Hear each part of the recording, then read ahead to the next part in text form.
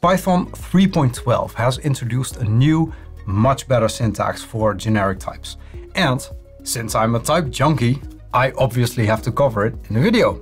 So today we're going to find out how generic types in Python work and what the advantage is over just using the any type. Let's dive in. Python has had type annotations since 3.5. They were added with PEP 484. Now, type annotations are great, but you can make them more generic by using generic types. And that allows you to have even more precision in the types of objects that you're dealing with.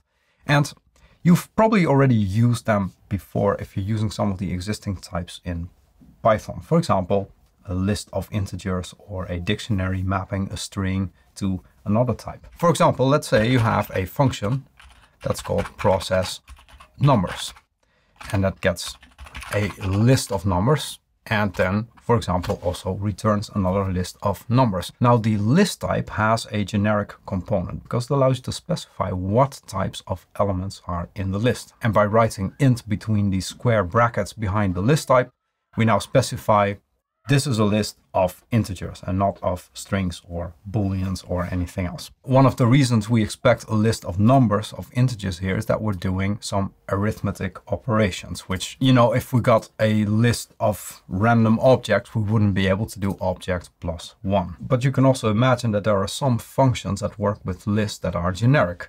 Let's say we have a, a process elements, which gets elements and that's a list of some type t, and it also returns another list of that particular type t. And then it might return the elements uh, at uh, odd indices, for example. And then it simply does this, right? So when you look at a function like this, now let's ignore the type errors for a moment. Actually, it doesn't matter what the type is of the thing that's in the list because we're simply returning the elements in the odd indices. We don't care. This function works for a list of integers. It works for a list of foo bars. It works for a list of strings. It doesn't matter what is in the list. The only thing we do is we return elements at the odd indices. So it would be a pity if we had to define this function for every type of list that we're going to use. We simply want to say, hey, this is for any element. We don't really care about it. We just wanted to return elements at odd indices. We don't care what's in the list. And this is where generics can be very helpful. But how do we specify that this is a generic type? Because at the moment we're getting a t is not defined error. Well, that's where in the past you had to use type typevars for. So we simply write t equals typevar t. And typevar is something that we're going to import from typing. So now t is a generic type and we can use it in a function like so. And the nice thing now is that I can create a list of integers like so. And then I can do uh, processed equals, and then I want to do process elements, and then we print the processed list. So when I run this code, then we're going to get this the elements at the odd indices, which are actually the even numbers. So that's slightly confusing. But what we can do is now we have a my string list. And then actually we can do exactly the same and we get as an output a list of strings. Now that you see how awesome generic type annotations are, you probably want to use them more in your code. But the question is, where are you going to host your application? And the answer is on a VPS by today's sponsor, Hostinger, of course. You got full root access, dedicated IP address, they support multiple operating systems, including various Linux distributions and much more. The VPS is hosted using powerful hardware such as NVMe, SSD storage, and AMD EPYC processors. And with KVM virtualization, your VPS can benefit from separate resources, which leads to better performance and stability. There's a great Black Friday offer for the VPS KVM2 plan at the moment. For the 12 or 24 month subscription, you pay only $6.99 per month. That's a 63% discount. And if you use the discount code ARJANCODES, you get an additional 10% off, so don't forget to use that. You start by selecting a location for your VPS. So I'm based in the Netherlands, so let's select the Netherlands. And then you can choose what kind of VPS you want. So do you want an OS with a control panel, just a plain operating system, or do you want to use a content management system like WordPress? I'm going to pick OS with control panel because for me that's a bit easier to manage. So I'm going to pick Ubuntu, then simply click continue. Now we can create a panel password. We also pick a root password if you want to access your server remotely, you can already provide an SSH key right in the setup process. So here's my setup and now we simply click finish setup and in a few minutes your VPS is ready to go. With 24-7 support from the team, you'll never feel lost and with a 30-day money-back guarantee, you can try them out risk-free. Click the link in the description to get started. And now let's go back to the video. You might wonder, why do we need generic types? uh, why can't we just use any, right? So let me show you what happens if you use any instead of generic types. So first thing that I want to show you is that list, the IDE indicates that list is a list of integers, right? Makes sense because we're assigning it a list of integers. Now process elements gets a list with elements of type T and returns also a list of elements with type T. So that means that if I pass it my list, which is a list of integers, then processed is also a list of integers. And the IDE knows that because process elements has that return type, right? And here my string list is a list of strings. Process elements is called with a list of strings and then process now is a list of strings, which the IDE also knows because of the type annotation used in process elements. So that's very useful. Now, if you were to use any instead of this generic type, let me change that. So we would simply do that and then also replace it there. Now actually we don't need the type var anymore. So you would say, okay, great, right? Works in exactly the same way, except that's not true. Because now if you look at my list, so that's a list of integers, but processed is now a list of any. It's no longer a list of integers, at least not according to the IDE. So that means we've lost a lot of information. And same here, we have the string list, process elements gets a string but it returns a list of any. So now we no longer know that process now has a list of strings. Even worse, the specification of the type here doesn't say anything at all about how this list and that list is related.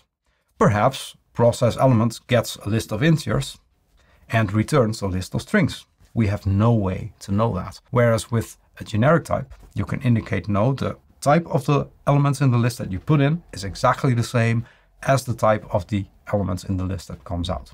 And that's the main difference between using a generic type versus using any.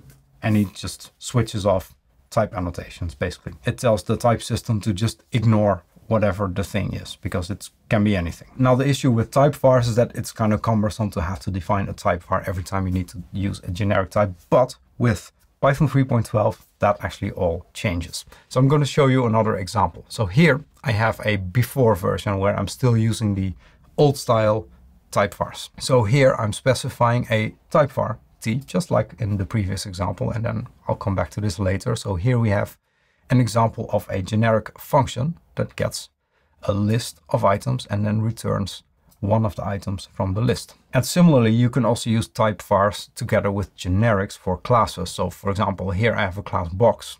That's a generic class and that gets a type T. And what this does, it's just a container for an object of type T. So we have an initializer where we store something of type T.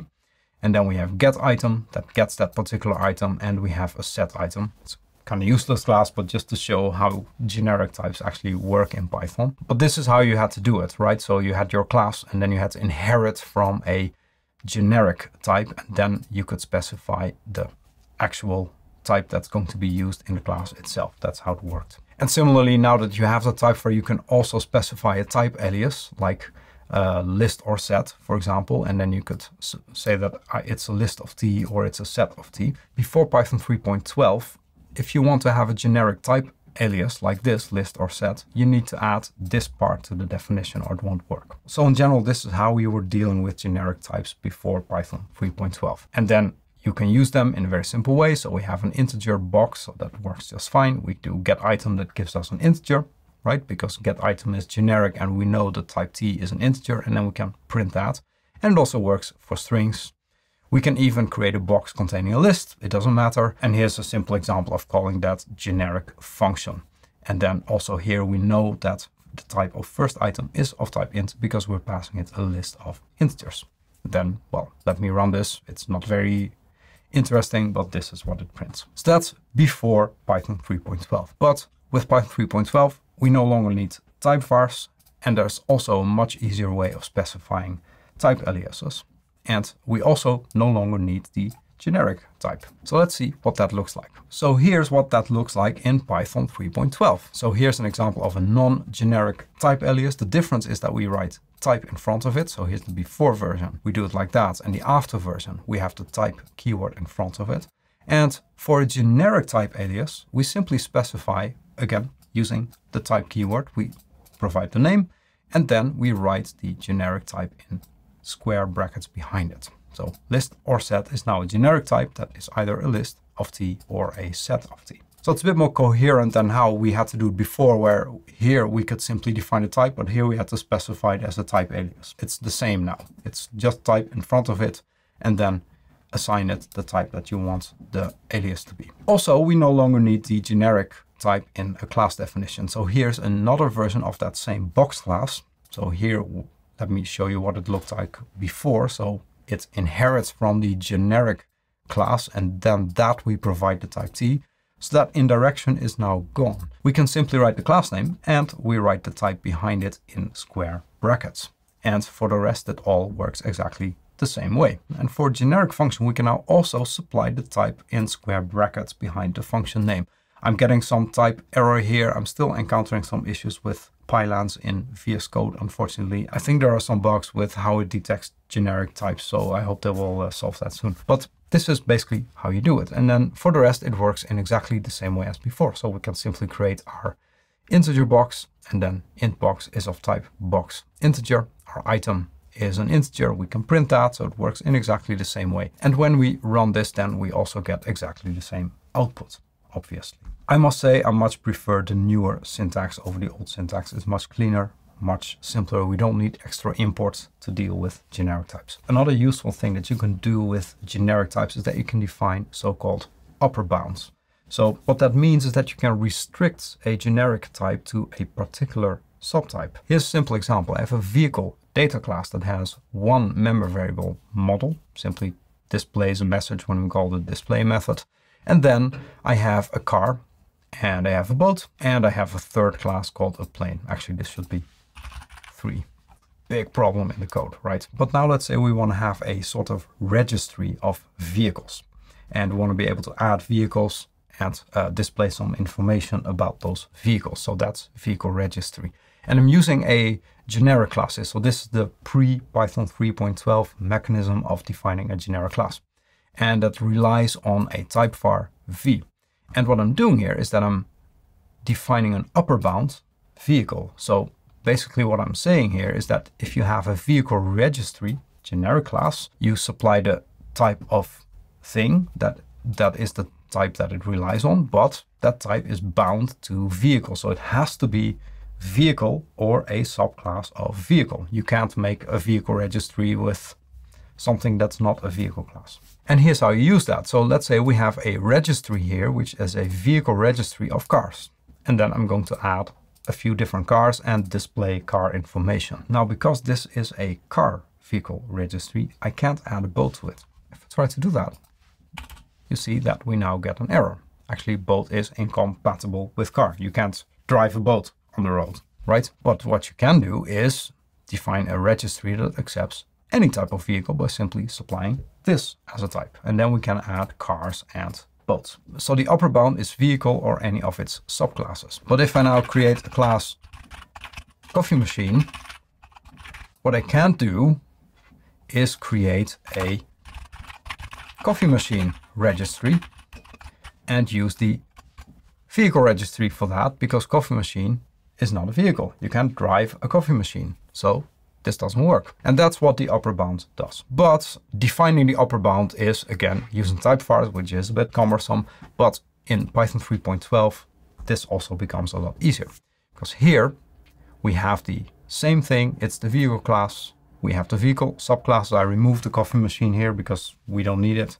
But the vehicle registry is now a generic class based on V and V is bound to vehicle. So that defines the upper bound. So this works in exactly the same way as the other example, but now we're using Python 3.12's generics. Again, unfortunately, I'm still running into a few issues here with Pylance, so the type reporting is a bit off, but this is how it works. And you can see that when I run this, we get exactly the same output. And by the way, these upper bounds are pretty flexible, so you can even specify multiple upper bounds by defining a tuple. So for example, here we have our vehicle registry, which again is generic type. But now we're using a tuple to tell it that you can create a vehicle registry of cars and of boats, but not of planes for example, or anything else. So you can specify multiple options, multiple constraints for your types using a tuple. By the way, if you like these types of nerdy type discussions, you might also like my Discord server. You can join for free by going to discord.arjan.codes. There's a lot of really knowledgeable, helpful people there. So discord.arjan.codes. I've also put a link in the description of the video. So overall, I like generic types quite a lot because they allow us for a lot of flexibility in how we define our types. And we can be pretty precise with how we define them. And you would use them mostly in container-like situations where you would create, let's say, a list-like structure or a dictionary-like structure and you want it to be generic that's where generic types can really help a lot. And that's as opposed to something like any, which simply switches off the type system. So that's quite different. It also makes your code more reusable because you don't have to write multiple functions that do exactly the same thing, but with just a slightly different type. You can use generic types for that. And by using the generics mechanism, your IDE also still understands what type of things you're dealing with. I do think there's always a trade-off though in how far you're gonna go with this because if you really go in deeply you can get pretty complex types by using generics and upper bounds, constraints and those kinds of things and it can become quickly pretty hard to understand what a type exactly is. So you have to be also careful about how you do that and again also in type specifications design principles also rear their head, right? Um, you don't want to put a really complex type in a single huge type alias. You might want to split that up into smaller type aliases so you understand what is going on. Now Python and its ecosystem is still pretty opportunistic in how it uses type specifications. They're not in all the libraries, for example, as opposed to language like TypeScript, which really focuses on making sure the types are always there. But that can also lead down a rabbit hole where you're trying to fix some very esoteric type issue, which actually doesn't really have any impact on the final application. So you have to know sort of where to stop and not dive in too deep because you're going to lose yourself. But I'm really curious to hear your thoughts about this. Do you use generic types in your code? How important is type precision to you? Maybe it's not important at all let me know in the comments. I hope you enjoyed this deeper dive into Python 3.12's generic type system. If you want to learn more about other features that Python 3.12 introduced, and there are quite a few, some of them are quite interesting, you should definitely watch this video next. Thanks for watching and see you soon.